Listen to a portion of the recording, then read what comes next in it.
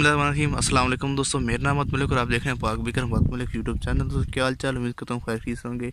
नई वीडियो के साथ आ चुका हूँ और आज की इस नई वीडियो में हम रिव्यू करने जा रहे हैं Honda C G one five twenty twenty model जो कि मेरा अपना ज़ाती बाइक है। आप लोगों ने काफ़ी कहा था कि अपने बाइक के ऊपर एक छोटी सी वीडियो बना दें इसका रिव्यू करते हैं क्या क्या चीज़ें आपने इसके अंदर फिट कराई हैं। तो आपको मैं शुरू से लेकर एंड तक बता देता हूँ कि इसमें मैंने क्या क्या काम कराया तो सबसे पहले हम इसके जो है टैंकी टापों से शुरू कर लेते हैं, जो टैंकी टापे मैंने इसमें लगवाए हैं। तो ये नॉर्मल टैंकी टापे नहीं होते जो आपको दुकान से मिलते हैं ये जो चीज़ आप देख रहे हैं, ये सारा पेंट जहाँ पे मतलब यहाँ पे आपने, जो हमने लिया था, उसमें सारा पेंट है। क्योंकि स्टिकर जो होता है, वो तीन, चार, पाँच महीने के बाद जो है, वो डल हो जाता है, उसके ऊपर से रंग उतर जाता है तो काफ़ी ज़्यादा बुरा लगता है। तो इसलिए ये मैंने टैंकी टापे जो भी हैं, इसमें ये वाली जो पोर्शन है, ये इसमें पेंट का जो किया हुआ है। यहाँ पर भी आपको पेंट ही देखने मिलता है टापे पर भी आपको पेंट ही देखने मिलता है। और क्वालिटी इसकी काफ़ी ठीक थी। तो मुझे पसंद आई मैंने ये परचेज़ कर ली थी। ये ऊपर इसका ढक्कन है, जो उसका जनीन आता है उसको मैंने रैप करा लिया था हल्का फुल्का और इसके अलावा इसकी बात कर लीजिए नीचे तो ये आपको सेफ़ गार्ड या कहते हैं इसको तो ये मैंने इसका वो डिलक्स या प्राइडर वगैरह का कह सकते हैं, इसमें होता है। लेकिन ये मैंने इसके ऊपर मुझे ये वाला जो है पसंद था, वो जो वाइट वाला होता है, वो जो है बुरा लगता है, लेकिन सेफ़ गार्ड मस्त था। इसलिए मैंने कहा, चलो, ये थोड़ा सा अच्छा लगेगा। तो इसलिए मैंने इसको इस बाइक के अंदर इंक्लूड कर दी है।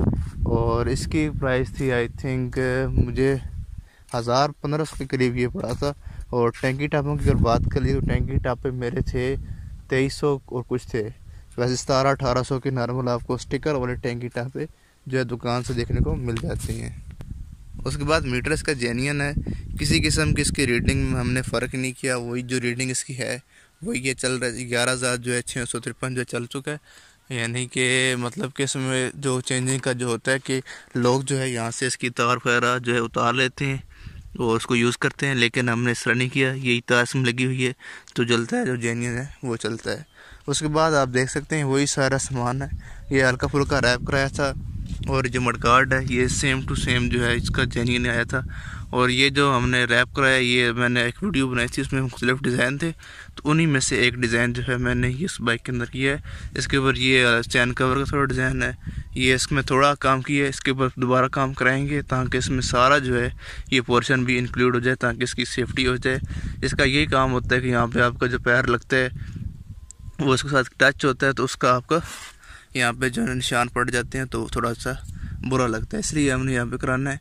ये सारा जो है गोलाई वगैरह, ये सारी जो है हमने इसको थोड़ा फिर से बनाएँगे। तो उसकी मैं आपको वीडियो बना दूँगा, क्योंकि आप लोग वीडियो की डिमांड करते हैं। इसकी वैसे पहले मैंने वीडियो नहीं बनाई, क्योंकि बाइक होता है होंडा का। आपको पता है कि सेम टू सेम एक ही चीज़ आती है हर साल।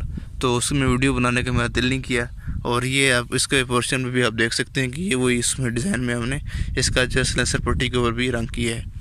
और ये देखें, अब ये रैप जो है पुराना हो चुका है उतर रहा है। तो इसके बाद अब इसको नया कराना इसमें सारा ये पोर्शन होगा। इसमें रंग की जो कॉम्बिनेशन है, वो हम थोड़ी सी चेंज करेंगे। ब्लू की जो किसी और रंग को इंक्लूड करेंगे। आप अगर आपके जहन में कुछ रंग हो तो आप कमेंट्स में नीचे बता दें।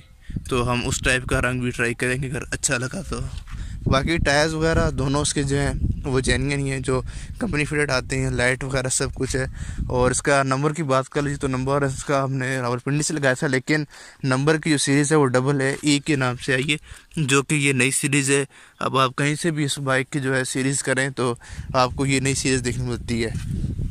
बाकी इसकी एवरेज की अगर बात कर ले तो एवरेज जो हमारा बाइक है ये हमने इसको चेक किया था लॉन्ग पे तो कम अज़ कम ये मुझे दे रहा था फोर्टी सेवन से फिफ्टी के दरमियान में इसकी एवरेज है, जो कि काफ़ी अच्छी है। मतलब कि आपका होंडा सेवेंटी भी इतना ही एवरेज देता है, जो कि थोड़ा चल चुके हैं। वैसे उसकी एवरेज हो जाती है साठ तक, आराम से वो आपको देते साठ पैंसठ तक अगर आप लॉन्ग पे ठीक ठाक चलें मतलब कि ज़्यादा टोटल ना हो, ज़्यादा रेस ना हो। तो ये सारा इसमें सिस्टम था। अभी इसका आपको मैं साउंड सुना देता हूँ। अभी बाइक थोड़ा गंदा भी हुआ हुआ है, क्योंकि गाँव है आप देख सकते हैं गाँव का माहौल है तो यहाँ पर आपको रेत, मिट्टी और चूल वगैरह देखने को मिल जाती है। तो यहाँ पर जो है सफ़ाई सरा की मेनटेन नहीं किया सकती क्योंकि रास्ते होते हैं, वहाँ पर गद्दा होता है। तो हम इसको अब स्टार्ट करके इसका साउंड भी सुना देते हैं। ये अब स्टार्ट इसका ये साउंड है। काफ़ी पहले लोग डिमांड करते करते हैं बाइक का साउंड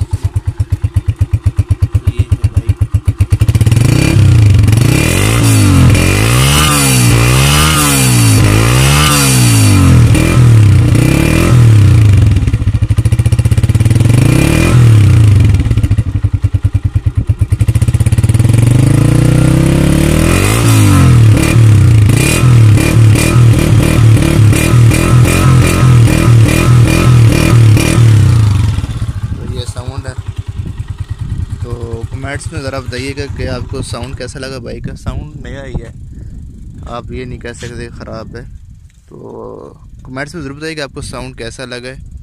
हर किसी की अपनी चॉइस होती है। कुछ लोगों को काफ़ी लोगों को पुराने बाइक का साउंड अच्छा लगता है किसी को नए बाइक का साउंड लगता है। अब आप कमेंट्स बताएँ कि इस बाइक का साउंड ठीक है, नए के उम्मीद करता हूँ आपको पसंद है। अगर पसंद आई है तो लाइक कर दें। चैनल पर नए सब्सक्राइब कर दें।